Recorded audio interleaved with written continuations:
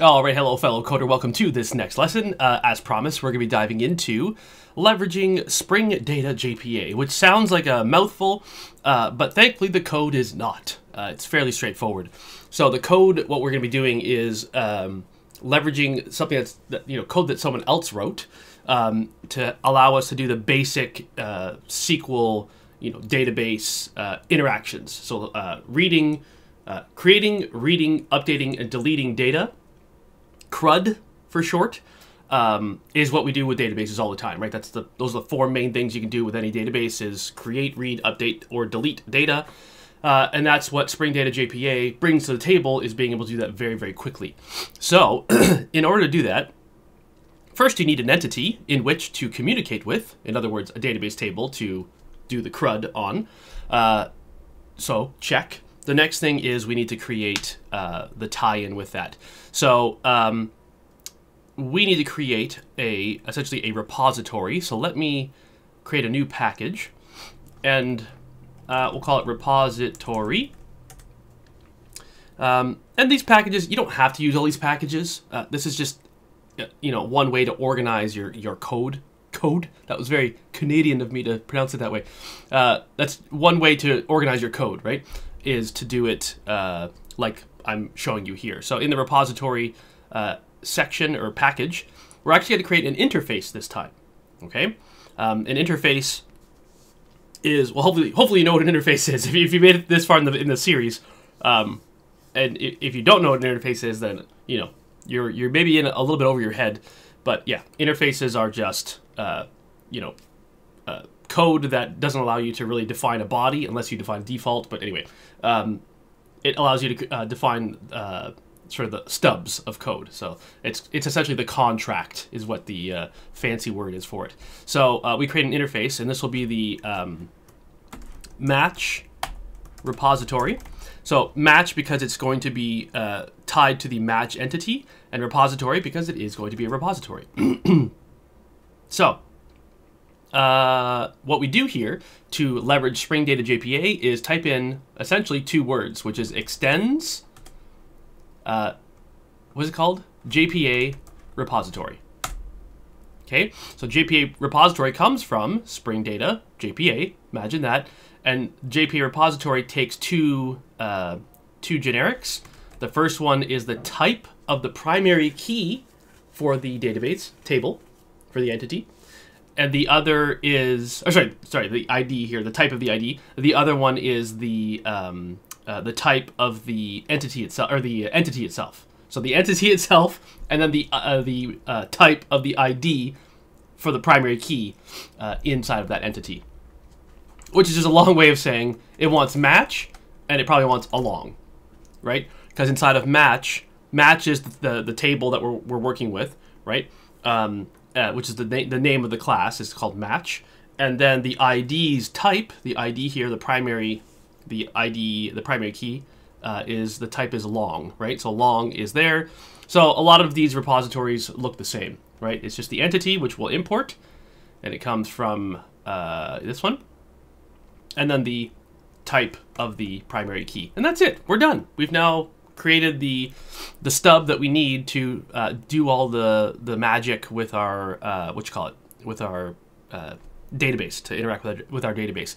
So if we go to the service, now we can actually bring in uh, this repository. So we can say private, uh, what is it called? Match repository. Match repository and then we'll use constructor injection or wiring or uh, constructor wiring. Again, I forgot the name of this constructor in, constructor injection.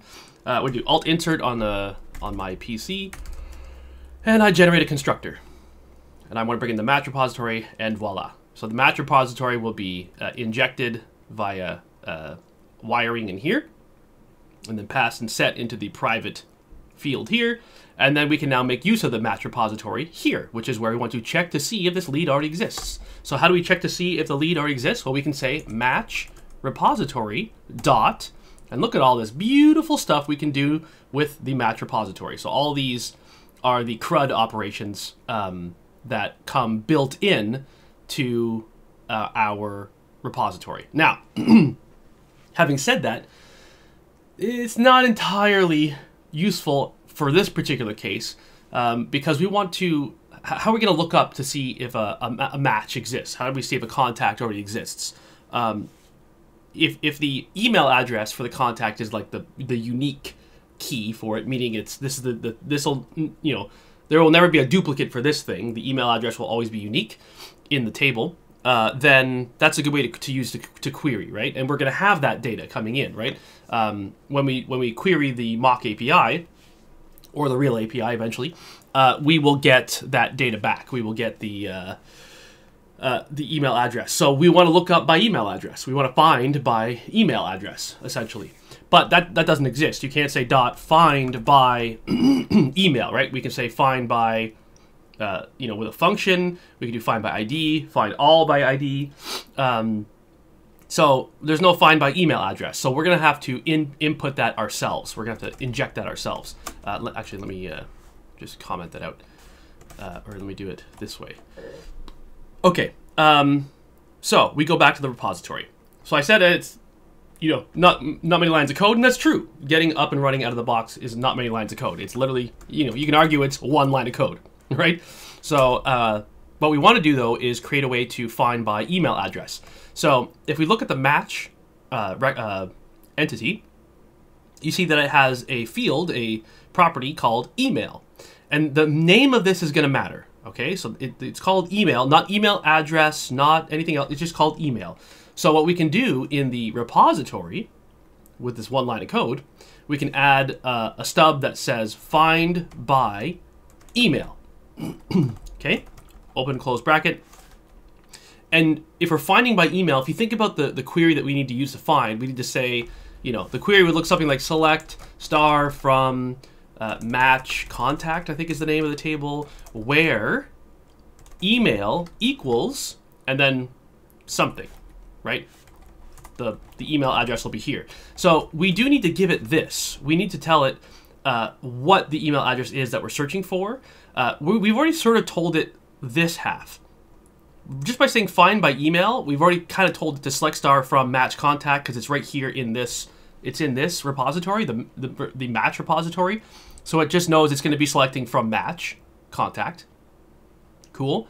Um, and then the where email kind of comes from the find by email, right? Because we're finding by the email, so we're saying where the email, but then we need to pass in what that email is. So we pass that in here. We say string, uh, you know, email.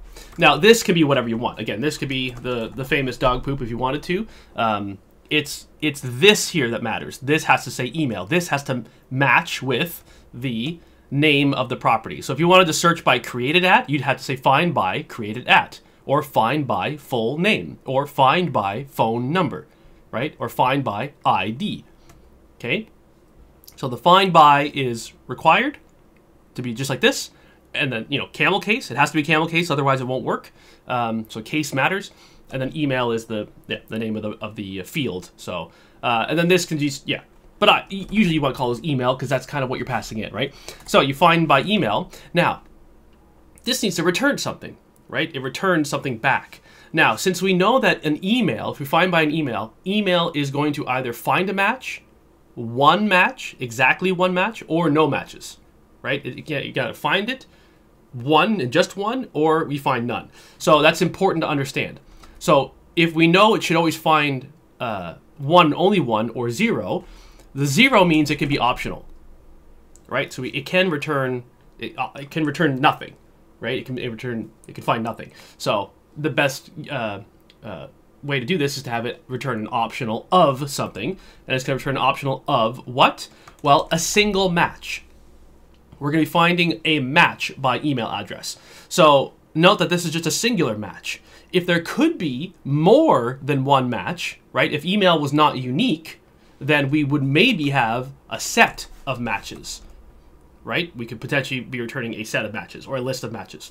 Um, but in this case, we know that it, we will never have more than one because match or email is unique. All right, let's import optional. Um, import optional. There we go. And that's how we do it, right? uh, cool. So now we have created a little stub where it will now do what we want it to do. So we can go back to the service and we can, this guy here, the match repository.find by, uh, when we want to check to see if a lead already exists, we can say find by email. And what email do we pass in? Well, we, we're iterating through all the responses from the uh, API, excuse me. So we can say find by match dot email, right? Match is what we're iterating through. We're iterating through all the matches and calling them match. So we can say get the get the email from this match and find by that. So this is going to return what? It's going to return, oops, how do you do this? Uh, an optional of match, right? So I would call this a match OPT. Um, actually, no. Let's call this match. Maybe call it a match OPT. Uh, and the reason why I'm doing uh, calling it a match is because uh, we've already used match here, so I don't. When you have an OPT at the end, once you get the actual match itself, you're gonna probably name it back to match. Um, anyway, maybe I would change this. This is kind of like.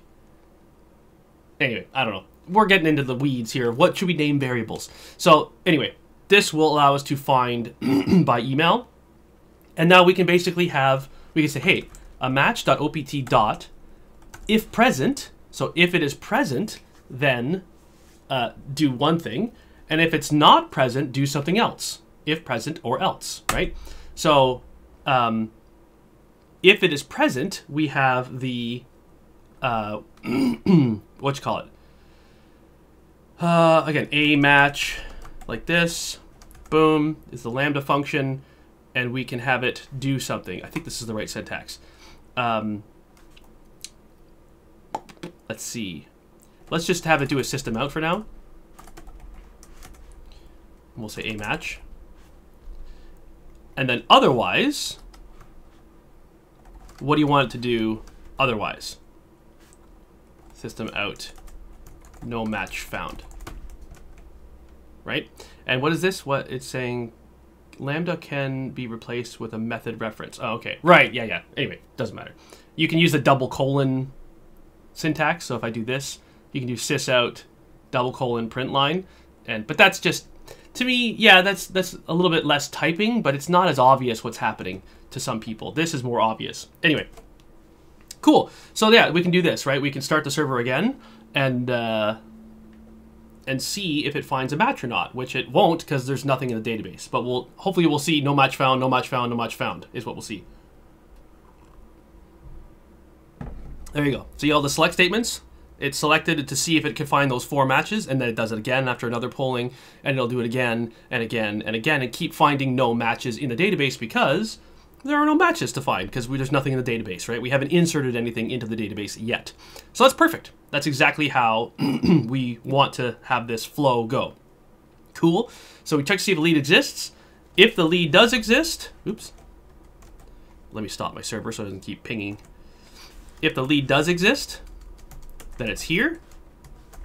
If the lead does not exist, then it is here. So you see our code and the structure is starting to take shape inside of the service. Cool. So in the next one, let's get into, well, diving into one of these two, either the if the lead exists functionality or if it doesn't. I think I want to start with if it doesn't exist because that should be easier because um, we'll insert it into the database. Imagine that. So let's do that in the next one.